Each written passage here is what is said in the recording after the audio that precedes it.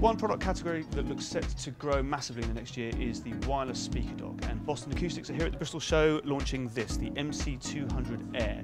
It's an AirPlay unit, so it's uh, compatible for your iPhone and iPad, but it also is DLNA equipped, so it will be compatible with any Android device too. It also has a USB input for direct connection, so it's a pretty well specified docking station.